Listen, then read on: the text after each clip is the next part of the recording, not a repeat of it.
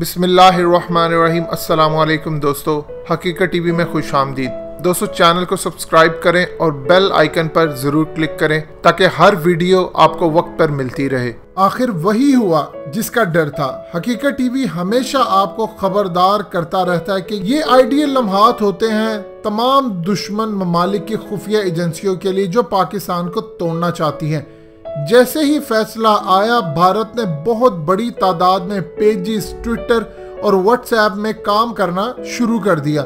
فوج I S I ججوں سمیت تمام پاکستان اور ریاست کے خلاف۔ پھر آگ جلاؤ، گھیراؤ، تحریک طالبان کے کئی لوگ شامل ہوئے۔ آج اگر فوج اور ہماری نمبر ون ایجنسی بر وقت کنٹرول نہ کرتی چیزوں کو، تو معاملات کدھر کے کدھر چلے جاتے۔ حقیقت ٹی وی ہمیشہ آپ کو بتاتا ہے کہ پاکستان میں بڑے بڑے جو پیجز بنے ہوئے ہیں، بڑے بڑے ٹویٹر اکاؤنٹس ہیں یوٹیوب چینلز ہیں، کئی چیزیں ہیں ایسی، یہ تمام بھارت سمیت مختلف ممالک، خاص کر افغانستان سے آپریٹ ہوتی ہیں۔ وہاں پر سی آئی اے ران نے پوری پوری ٹیمیں، پورا پورا نیٹ ورک قائم کیا ہوا ہے۔ بظاہر تو آپ کو سوشل میڈیا پر چینلز اور دوسری چیزیں سمجھ آتی ہوں گی، جو کئی آپ کو مذاق کے پیجز اور jokes funny pages comedy pages آپ کو یہ نظر آتے ہیں، مگر اہم موقع کے لیے ان کو رکھا جاتا ہے کہ فوری طور پر کھل کر تمام لوگ ایک ہو کر کام کرنا شروع کر دیتے ہیں۔ آپ نے دیکھا نہیں آج کس طرح پاکستان میں آگ لگائے گئے سوشل میڈیا پر کیا طوفان تھا؟ میڈیا کو تو پورا کنٹرول کیا ہوا تھا۔ ان کو تو اجازت نہیں تھی خبر لگانے کی۔ ان کو تو پیمرا نے پورا کنٹرول کیا تھا کہ کیسے پاکستان کے خلاف کام ہو رہا ہے۔ آپ سوشل میڈیا پر دیکھ سکتے ہیں۔ یہ جو خبر آپ کی سکرین پر چل رہی ہیں یہ تو وہ اکاؤنٹس ہیں جو تفتیش مکمل کر چکے اور ان کی لسٹ آئی ہے۔ ایسے ہزاروں لاکھوں کی تعداد میں اکاؤنٹس ہیں جو پاکستانیوں کے نام پر بنے، جن کو ہندو اپریٹ کر رہے ہیں سی اے اپریٹ کر رہے ہیں را اپریٹ کر رہے ہیں مساد اپریٹ کر رہے ہیں۔ یہ بات یاد رکھیے کہ اب جنگ آ چکی ہے سوشل میڈیا پر۔ سی اے نے کئی ہزار لوگوں کی ٹیم بھارت، افغانستان سمیت دنیا کے کونے کونے میں بٹھائی ہوئی ہے، جو صرف اور صرف آپ کے کمنٹس پڑھتی ہے، باقی تو آپ چھوڑ ہی دینا کہ کیا کچھ ہوتا ہے۔ یہی سب کچھ مصر میں ہوا۔ ایک خاص طبقے سے مسائل شروع ہوتے ہیں مسائل ہوتے ہوتے سوشل میڈیا پر پروپیگنڈا کی صورت اختیار کر جاتے ہیں۔ حقیقت ٹی وی اور باقی کئی لوگ جو آپ کو خبر دیتے ہیں، اس خبر کا امپیکٹ آپ لوگ لیتے لیتے وقت لگا دیتے ہیں۔ ہوتا یوں ہے کہ جب خبر مین سٹریم میڈیا پر آتی ہے تو لوگ سمجھ سے اچھا اوکے ہو گئی ہے۔ لیکن ان کو شاید اندازہ نہیں ہے کہ اب ننانوے فیصد جنگ خفیہ ہی لڑی جائے گی اور وہ خبر مین سٹریم میڈیا پر نہیں آتی۔ اس میں آپ کو بہت سارے معاملات ہوتے ہیں، پیسے لیے ہوتے ہیں ڈالرز لیے ہوتے ہیں پلانز ہوتے ہیں، ہر ایک کا ایک اپنا ایجنڈا ہوتا ہے۔ لیکن آپ لوگوں کو سمجھنا چاہیے کہ اب معاملات کس طرف جاتے ہیں۔ یہ معاملات ہیں کہ پیچھے سے انڈیا اسرائیل کنٹرول کرتا ہے چیزوں کو۔ آج دھرنا ہوا، لڑائی ہوئی۔ کس طرح لوگ جا رہے تھے؟ آدھے سے زیادہ لوگ جو سوشل میڈیا پر کام کر رہے تھے، ویڈیوز بنا رہے تھے۔ کچھ لوگ ایسے تھے جو وہاں پر احتجاج کر رہے تھے، تحریک طالبان۔ کچھ لوگ اس ویڈیوز کو پہنچا رہے تھے۔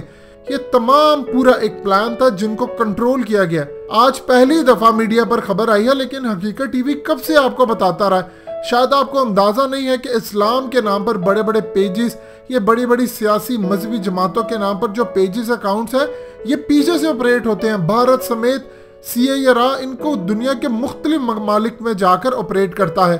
جب ریمن ڈیوس کو پکڑا گیا تو پتا چلا کہ وہ اتنی روانی سے پشتو بولتا تھا کہ پٹھان لوگ بھی حیران رہ گئے کہ یہ کیسے بول سکتا ہے۔ ان لوگوں کو مکمل ٹریننگ دی جاتی ہے کہ کیسے کام کرنا اسی طرح کلبوشن یادو اس کو دین اسلام کی اتنی معلومات تھی کہ پکڑا جانے پر اس نے بتایا کہ ان کو کیا کیا چیزوں کی معلومات تھی۔ اس کو اسی لیے سکھایا گیا تھا کہ اگر وہ پکڑا جائے شک ہو تو کسی کو پتہ نہ چل سکے۔ اسی طرح سوشل میڈیا پر اب جنگ آ چکی ہے۔ آج تو پوری دنیا نے دیکھ لیا نا کہ کھیل کیا کھیلا گیا۔ پاکستان میں سوشل میڈیا پر یہی سب کچھ ہوا ہے اور مصر، عراق، لیبیا، اردن، بوسنیا، تیونس سمیت ہر جگہ یہی ہوتا ہے۔ اب جنگ سوشل میڈیا پر آ چکی ہے۔ آپ نے دیکھا نہیں؟ اسرائیل تیارے کی جھوٹی خبر ڈائریکٹ اسرائیل سے آئی۔ وہاں سے آئی خبر طلت حسین نے اس کو پکڑی۔ نونلی کے social media cell Jamaat Islami فضل الرحمان سمیت تمام لوگوں نے اس کو کہاں سے کہاں پہنچا دیا۔ پھر پاکستانیوں کے نام سے جو اکاؤنٹ سے بھارت اسرائیل سمیت دنیا بھر سے چل رہے تھے، انہوں نے رج کر اس پر آگ لگائی۔ پھر بعد میں خبر جعلی ثابت ہوئی۔ ہم لوگ دیر کر دیتے ہیں بہت چیزوں کو سمجھنے میں۔ منظور پشتین کا سارا social media network Kabul سے آپریٹ ہوتا ہے اور لندن، ہالینڈ کے اندر اس کا بہت بڑا اسرائیل کا نیٹ ورک بیک اپ میں بیٹھا ہوا ہے۔ پورے کے پورے پلازے خریدے ہوئے انہوں نے۔ سی آئی اے کے نیٹ ورک ہے۔ مکمل طور پر ہر ایک ملک کے لیے الگ نیٹ ورک رکھا ہوا ہے کہ فلاں نے اس ملک کے لیے کام کرنا ہے۔ فلاں نے اس ملک کے لیے کام کرنا ہے۔ ہم لوگ اس آگ کو سمجھ ہی نہیں پاتے۔ آخر کب تک ہم لوگوں نے ان چیزوں میں الجھے رہنا؟ ہے تحریک طالبان جس کے اندر سی اے رام اساد نے اپنے بندے گھسائے، ہمیں پندرہ سال لگ گئے سمجھتے ہوئے کہ یہ جعلی لوگ ہیں، یہ مجاہد نہیں ہے نہ ان کا اسلام سے تعلق ہے۔ اسی طرح ہمیں یہ آگ کو سمجھنی ہے، یہ آگ میڈیا پر نہیں آئے گی مین سٹریم میڈیا پر نہیں آنے والی۔ یہ سوشل میڈیا پر لڑی جانی ہے، اس کی خبریں نہیں آئیں گی۔ یہ اسی طرح ہے، آپ کو ہم خبر دیں یا کہیں سے آپ کو خبر ملے الطاف حسین نے اپنے ورکروں کا سمجھایا ہوا تھا کہ کچھ ہوگا، اشارہ ملے گا، آپ نے آواز لگانی ہے۔ حق کی آواز الطاف الطاف، جب یہ نعرے لگے تو آپ اچانک توڑ پھوڑ شروع کر دیں۔ آج کے بعد آپ سمجھ جائیں اس چیز کو کہ سی اے رام اساد ایک ہو کر ہم سے جنگ لڑی ہیں۔ ہم لوگ ان کی چالیں ہی نہیں ابھی تک سمجھ پائے، ہم نے ان سے لڑنا کیا ہے۔ ہم لوگ ان کی چالیں سمجھیں گے تو ہم بھی ان جیسے نیٹ ورک قائم کر کے ان کے خلاف لڑیں گے۔ خدا کا واسطہ ہے، آپ لوگ اس چیز کو سمجھیں۔ کہ ہمیں برباد کیا جا رہا ہے ہر طرف سے۔ دوستو، چینل کو سبسکرائب کریں اور بیل آئیکن پر ضرور کلک کریں تاکہ ہر ویڈیو آپ کو وقت پر ملتی رہے۔